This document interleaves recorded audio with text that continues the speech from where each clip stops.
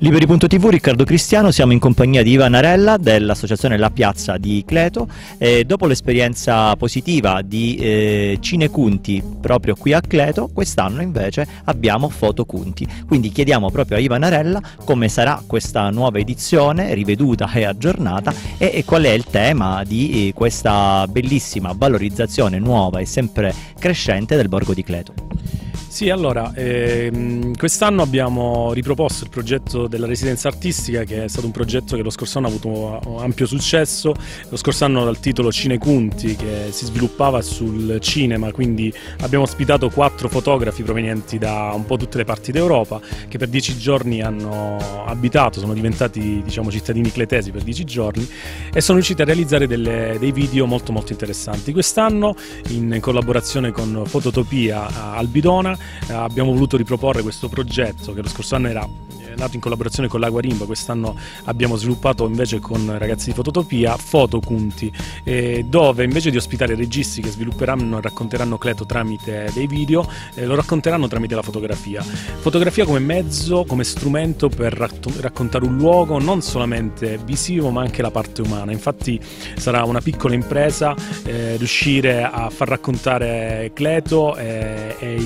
i suoi cittadini sulla sua storia e tutto quello che gira intorno a questo bellissimo territorio e tramite una storia fotografica che saranno cinque opere per ogni artista e gli artisti fotografi saranno cinque, presenteranno cinque opere, cinque storie che alla fine andranno a allestire una mostra unica dal titolo Fotocunti che verrà esposta all'ottava edizione del Creto Festival di quest'anno. Il tutto eh, basandosi su un, un, tema che solamente oggi i ragazzi hanno scoperto che è Risvegli, che in realtà è lo stesso tema dell'edizione del Creto Festival di quest'anno, eh, che ancora non avevamo svelato. In questa occasione abbiamo svelato sia il tema del, della residenza artistica ma anche del Creto Festival di questa ottava edizione.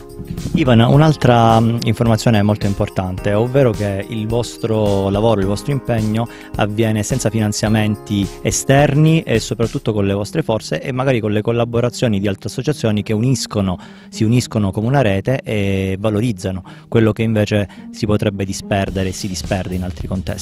Sì, purtroppo diciamo, la, mm, molte volte la mancanza di finanziamenti anche per i fondi pubblici diventa una scusa no? sul fatto di dire se non si ha il finanziamento non si può realizzare. Noi questa, questa situazione qui che tramite il nostro operato che ormai da anni operiamo dal Creto Festival ma dalle altre iniziative che facciamo durante il corso dell'anno siamo riusciti un po' a sfatarlo. Il tutto tramite che cosa? Come accennavi sul fatto che alla base c'è una cooperazione e collaborazione da parte di varie realtà che sono da privati, da aziende del territorio, da associazioni locali ma anche diciamo, dai, dagli, dalle persone che fanno parte delle associazioni che si operano e si mettono in primis a, a contribuire con il loro operato alla realizzazione di vari progetti.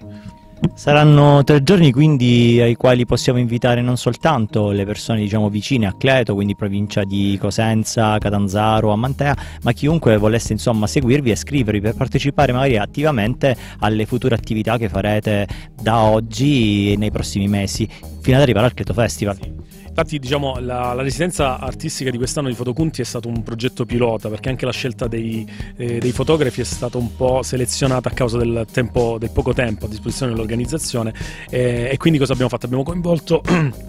le associazioni fotografiche della regione, de, della provincia di Cosenza e di Catanzaro. Eh, però è normale che l'invito alla, alla, a partecipare a questa residenza eh, è aperto a tutti, infatti abbiamo organizzato nei programmi di questi tre giorni eh, dei momenti di socialità, di socializzazione tra la gente del posto, ma anche a chiunque voglia conoscere il progetto, conoscere i fotografi e partecipare, così da prendere anche ehm, cioè ritornare un po' ad avere quel contatto umano ed entrare un po' in empatia con le persone che molte volte questa cosa è andata un po' persa.